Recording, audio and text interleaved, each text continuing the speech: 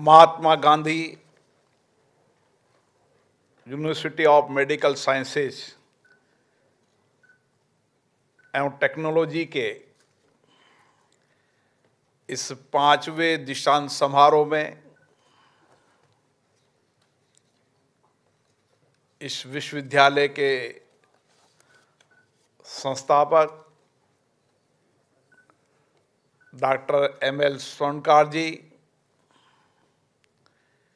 इस विश्वविद्यालय के chairperson, chancellor, doctor Vikas Swarnkar ji, इस विश्वविद्यालय के vice chancellor doctor Sudhir Sachdeva ji, pro vice chancellor doctor G S Saxena ji, doctor A K Sharma ji,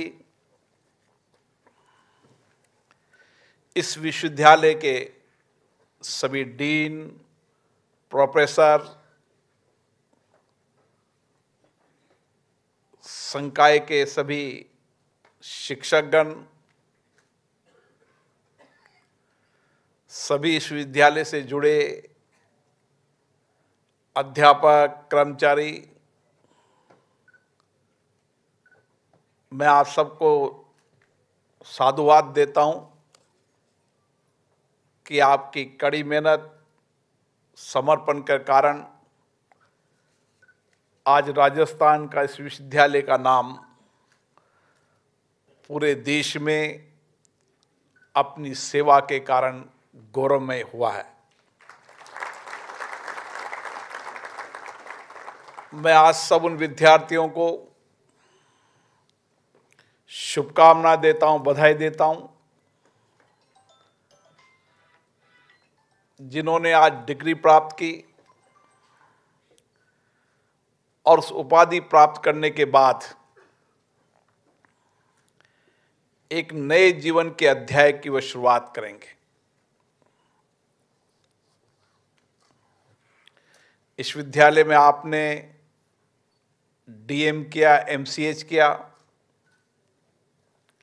MS किया, MD की, under graduation करके doctor बने, डेंटल डॉक्टर बने, BSc, MSc, nursing, physiotherapy, बहुत सारी संख्याओं में आपने अपने जीवन के महत्वपूर्ण यहाँ गुजारे हैं। कड़ी मेहनत, परिश्रम से आपने गोल्ड मेडल प्राप्त किया, डिग्री प्राप्त की। इस सब में आपके माता पिता का मार्गदर्शन, यहाँ के डीन, प्रोफेसर का मार्गदर्शन, शिक्षण, प्रशिक्षण जिसके कारण आपको सफलता मिली है, उन सबको भी मैं शुभकामनाएँ देता हूँ, बधाई देता हूँ। आज वो डीन और प्रोफेसर बहुत खुश होंगे, जब उनके पढ़ाए विद्यार्थी एक मानवीय सेवा के पुनित कार्य के लिए, समाज सेवा के लिए अपने आप को समर्पित करने जा रहे हैं। वो माता पिता भी धन्य है। जिन्होंने ऐसे पुत्रों को जन्म दिया, ऐसी पुत्रियों को जन्म दिया। जिन्होंने मानवीय सेवा, मानवता की सेवा के संकल्प और लक्ष्य को मानकर डॉक्टर और पैरामेडिकल स्टाफ के रूप में अपने शिक्षण और प्रशिक्षण का निर्णय लिया। महात्मा गांधी मेडिकल यूनिवर्सिटी, जिसने बहुत कम समय के अंदर 2000 में इस विश्वविद्यालय की शुरुआत हुई। डॉक्टर एम एल सोनकार एक ऐसे डॉक्टर थे, जिन्होंने आईवीएफ के अंदर, इस उत्तर भारत के अंदर अपने नए रिसर्च से, नए इनोवेशन से, एक नई फैकल्टी शुरू की थी। और मुझे याद है, उस समय, बहुत कठिन समय था कि ये सफल होगी ना होगी। लोगों में संशय थे, ये आशंकाएँ थी। कई तरह के आरोप, प्रत्यारोप, परेशानियाँ भी उस समय होती थी। लेकिन डॉक्टर स्वर्णकार ने अपने लक्ष्य को और संकल्प को मानकर कि मुझे इस दिशा के अंदर बढ़ना है। चंडीगढ़ से पीजी करने के बाद उस समय फटलर इस हाईवे के सेंटर को खोलना बहुत कठिन समस्याएँ थी। हम हमारी पुरातन संस्कृति और को मानते हैं, लेकिन मेडिकल साइंस ने बहुत परिवर्तन किया था। अब जब भी नए मेडिकल साइंस में नए प्रयोग होते हैं तो चुनौतियाँ बहुत होती है। चुनौतियों के बाद उन्होंने इस मेडिकल कॉलेज की शुरुआत की। उस समय भी उनके सामने बहुत चुनौतियाँ आई। कई सवाल उठे। लेकिन जो चुनौतियों से लड़ेगा, संघर्षों से लड़ेगा, उसी को जीत हासिल होगी, उसी को सफलता मिलेगी। वो अपने लक्ष्य और संकल्प से हटे नहीं। उस लक्ष्य की ओर बढ़ते गए। और आज राजस्थान में नहीं, पूरे देश के अंदर इस महात्मा गांधी मेडिकल यूनिवर्सिटी ने मेडिकल साइंस और टेक्नोलॉजी के अंदर एक नए अध्याय की शुरुआत कर कर आज उत्तर भारत का सबसे बड़ा मेडिकल कॉलेज और यूनिवर्सिटी बन चुकी है। और मुझे खुशी होती है जब मैं हॉस्पिटल का दौरा कर रहा था तो मुझे गरीब व्यक्ति मिले। गरीब व्यक्तियों ने कहा कि हम यहाँ इलाज करने आए कुछ मेरे संसदीय क्षेत्र थे, कुछ राजस्थान के अलग हिस्सों के थे। और जिस प्यार से उन्होंने कहा कि ये यहाँ इलाज अच्छा होता है, डॉक्टर अच्छा व्यवहार करते हैं, कई मरीज़ यहाँ से ठीक होकर सकुशल होकर गए। कई ऐसे मरीज़ भी थे जिनको लगता था कि अब हमारी ज़िंदगी को बचना मुश्किल है। वह भी स्वस्थ होकर गए। कोरोना के इस वैश्विक संकट के समय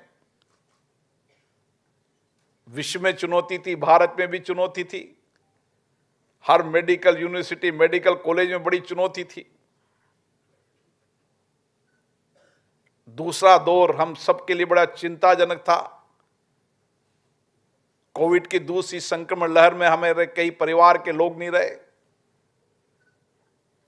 और कभी सोच भी नहीं सकते थे कि ऑक्सीजन से की कमी से लोग की मृत्यु हो सकती है। पर यह दुनिया के अंदर हमने देखा है, कई शताब्दियों के बाद एक ऐसा वेरिएंट आया,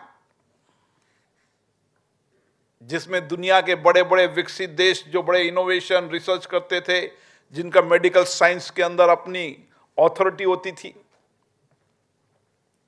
वह भी उस वेरिएंट को, उस संक्रमण को रोकने में सफल नहीं हो पाए। भारत के लिए विशेष रूप से चुनौती थी। हमारा मेडिकल साइंस हमारी टेक्नोलॉजी रिसर्च अन्य विकसित देशों के मुकाबले कम थी।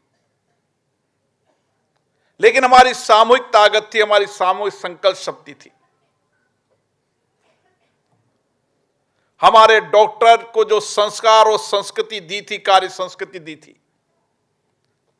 वो मानवीय सेवा की दी थी, मानवता की सेवा की दी थी। और इसलिए मानवता की सेवा और कार्य संस्कृति के कारण उन्होंने अपनी जान की परवाह किए बिना इस देश के लोगों को बचाने का काम किया। डॉक्टर हो, पैरामेडिकल स्टाफ हो, अटेंडेंट हो सफ़ाई कर्मी हो,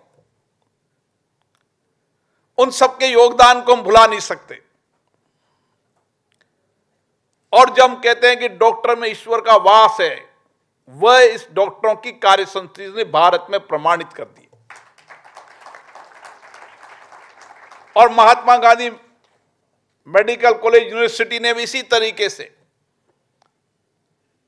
ऑक्सीजन की कमी हो तो डॉक्टर साहब हमसे बात करते, जो इनके सोर्सेज हो सकते हैं उनसे बात करते।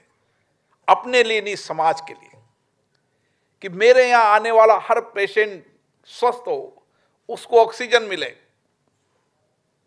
विनती, आग्रह करते रहे। रोज़ाना सुबह शाम 24 घंटे चिंता से कि कहीं ऑक्सीजन की कमी ना हो जाए। ये हमारी संस्कार और संस्कृति है और इसीलिए इस प्रयासों के कारण आज महात्मा गांधी मेडिकल यूनिवर्सिटी के अंदर दुनिया के नए टेक्नोलॉजी, विज्ञान, जो मेडिकल साइंस है, जिसके बारे में भी हम आगे बढ़ रहे हैं। अंग प्रत्यारोपण के मामले में, चाहे लीवर हो, चाहे किडनी हो, तमाम चीज़ें जो विज्ञान और टेक्नोलॉजी के अंदर, विकसित देशों के अंदर है, उन सबको इस मेडिकल यूनिवर्सिटी ने कड़ी मेहनत कर कर, यहाँ पर मुझे याद है कि जब बड़े डॉक्टर होते हैं, वो राजधानी नहीं छोड़ते।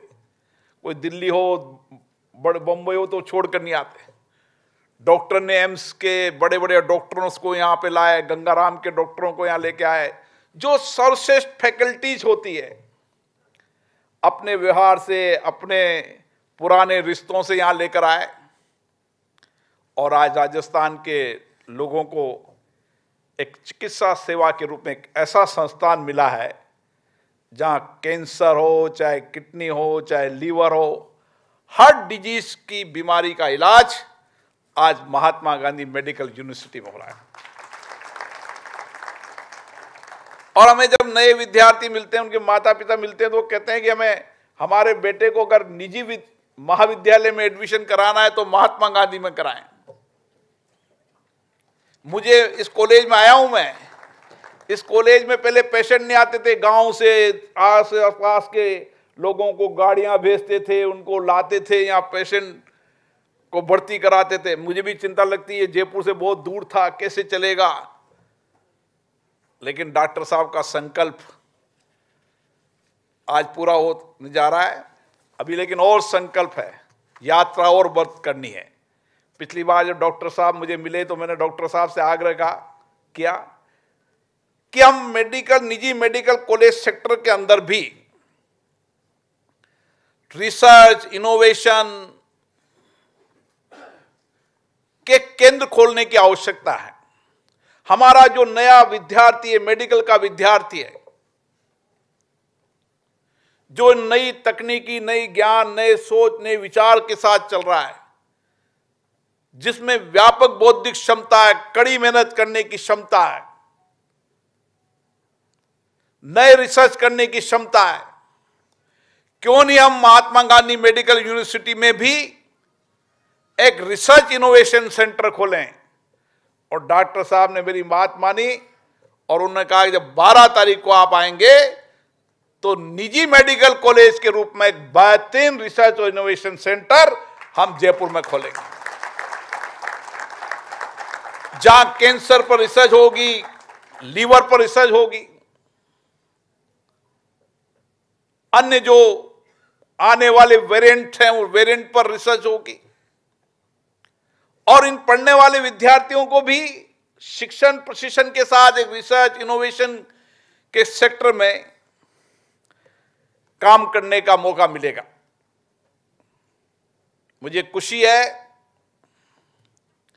कि जिस लक्ष्यों की ओर डॉक्टर स्वर्णकार चल रहे हैं चाहे रिसर्च हो, चाहे इनोवेशन हो, चाहे कैंसर का नया हॉस्पिटल हो, एक हज़ार बेड के नए विस्तार का भी आज शिलान्यास हुआ है। आने वाले समय में उत्तर भारत के अंदर निजी क्षेत्र में सबसे बड़ा मेडिकल कॉलेज यूनिवर्सिटी जयपुर में होगी।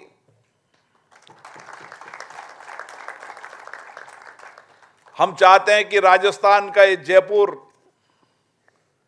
मेडिकल टूरिज़्म का सबसे बड़ा सेंटर बने, जहाँ सरकारी हो, वहाँ निजी क्षेत्र का भी योगदान हो। सबकी भागीदारी, सबके सामूहिकता के साथ हम जयपुर को एक मेडिकल हब बना पाएँगे। और मुझे आशा है कि संकल्प को हम सामूहिकता के साथ पूरा कर पाएँगे। यहाँ पर जो चिकित्सक गण अब निकले हैं,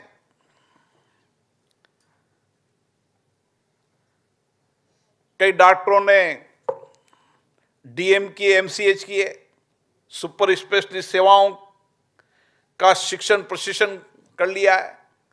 मेडिकल की शिक्षा एक ऐसी शिक्षा है जिसकी के अंदर ज़िंदगी के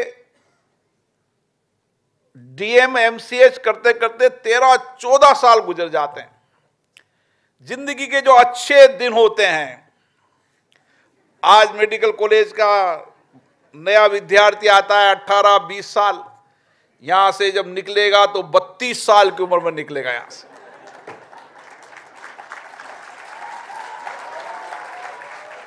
एक कितनी कठिन परिश्रम है कि जीवन के महत्वपूर्ण क्षण आपने उस मानवीय सेवा के लिए जिसमें आपका लक्ष्य है कि जो भी अस्वस्थ व्यक्ति मेरे पास आएगा, मैं उसको स्वस्थ करूँगा। इस संकल्प के साथ आप शिक्षण प्रशिक्षण कर रहे हैं। आपके शिक्षण प्रशिक्षण में कई लोगों का योगदान है, आपका मिता माता पिता का योगदान है, शिक्षकों का योगदान है। यहाँ पर जो स्टाफ होते हैं, चाहे वो छोटा सा स्टाफ, उसका योगदान है। हॉस्टल में रहने वाले मेस बनाने वालों का योगदान है। कितने लोगों का कंट्रीब्यूशन है आपके जीवन में? और उस जीवन के लक्ष्य को, संकल्प को, जिसे डॉक्टर साहब ने कहा कि हमारा लक्ष्य तय होना चाहिए, हमारा संकल्प तय होना चाहिए। शिक्षा और ज्ञान हमेशा अधूरा रहता है। आपने 12 साल गुजारे ज़िंदगी के और गुजारने। विज्ञान और टेक्नोलॉजी गतिशील है, जब विराम हो जाता है तो समाप्त हो जाता है। आपको दुनिया का सर्वश्रेष्ठ डॉक्टर बनना है। मेडिकल साइंस में जितने भी नए इनोवेशन रिसर्च आ रहे हैं, वो मुझे करने इस लक्ष्य के साथ यहाँ से निकलना है। आने वाले समय के अंदर महात्मा गांधी मेडिकल यूनिवर्सिटी के पढ़ने वाले उस विद्यार्थी का विज्ञान टेक्नोलॉजी रिसर्च में पेपर निकले, दुनिया पढ़े यह हमारा संकल्प होना चाहिए। मानवता की सेवा संस्कार हमारी कार्य संस्कृति में है। और ये पुण्य काम भगवान ने आपको हाथों में दिया इससे बड़ा पुण्य और मानवता का काम आप नहीं हो सकता। और इसीलिए आपके जीवन में दिशा तय होनी चाहिए, संकल्प तय होने चाहिए। केवल आप उसकी बीमारी से न जुड़े। आपके पास अगर कोई बीमार व्यक्ति आते केवल बीमारी तक सीमित न रहे। आप मानवीय संवेदना के साथ, उसके जीवन के साथ जुड़े। जितना बीमारी का इलाज कर रहे उतनी मानवीय संवेदना के साथ आपके साथ जीवन से जुड़ेंगे तो उसको जल्दी स्वस्थ करेंगे, जल्दी सकुशल करेंगे। इसलिए उस एक मरीज़ ने कहा कि डॉक्टर साहब का व्यवहार अच्छा था, डॉक्टर साहब प्यार से बोलते हैं। अगर हम बीमारी तक सीमित रहे, हमारे जीवन में मानवीय संवेदना उस व्यक्ति के जीवन के साथ जुड़ना, क्योंकि डॉक्टर के कहने के बाद हर मरीज़, हर व्यक्ति डॉक्टर की बात को मानता है और कोशिश करता है कि जो डॉक्टर ने कहा उसकी सलाह पर चलूँ। इसलिए आपका बहुत बड़ा योगदान उसके जीवन में है। और हमें अभी मेडिकल साइंस के अंदर और प्रगति करनी है। हमारे प्रधानमंत्री जी का जो विजन है, जो सोच है कि दुनिया में सबसे अच्छे इनोवेशन भारत में हो शोध भारत में हो, हर इनोवेशन हर रिसर्च भारत के नौजवानों के साथ हो। हम ग्रामीण क्षेत्र के दूर दराज के अंतिम व्यक्ति के जीवन में स्वस्थ सेवाओं में के माध्यम से परिवर्तन ला सके। इसलिए कोविड के बाद चिकित्सा इंफ्रास्ट्रक्चर में विशेष रूप से ध्यान दिया जा रहा है। नए मेडिकल कॉलेज खोले जा रहे हैं, एम्स खोले जा रहे हैं। रिसर्च के नए संसाधन खोले जा रहे हैं। इस आज़ादी की पिछहत्तर वर्ष की लोकतंत्र की यात्रा में हमारी चिकित्सा व्यवस्था, हमारा इनोवेशन रिसर्च की संस्थान बहुत कम थे। लेकिन आज समाज की ज़रूरत है, क्योंकि समाज में परिवर्तनशील किसी जमाने में एक वेद्य होता था, पूरे गाँव को ठीक करता था, तब भी सोचती लेकिन जिस तरीके से जलवायु परिवर्तन हो रहे हैं, लोगों के खान पान रहन सहन के अंदर।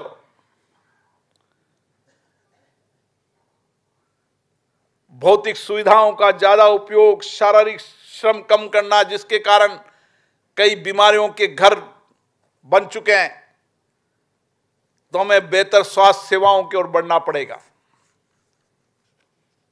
हमारी ग्रामीण स्वास्थ्य सेवा भी बेहतर हो, इसलिए आने वाले समय के अंदर डिजिटल के इस युग में, तकनीकी के युग के अंदर, हम दूर दराज के गाँव में बैठकर भी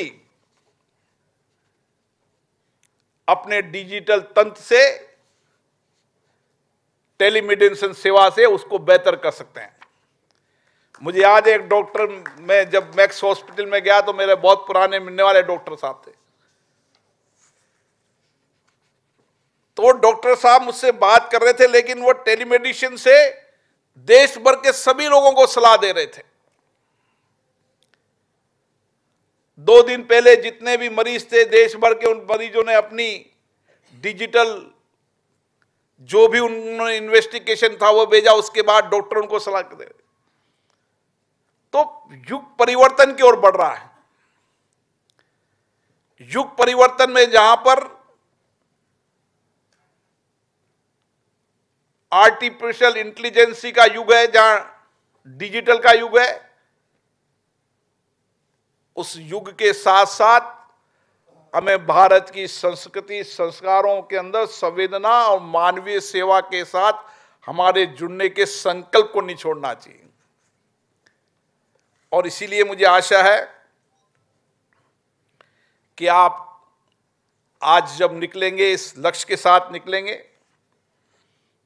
सेवा मेरा धर्म है, मानवता की सेवा करना जैसा पुण्य काम मुझे भगवान ने दिया है।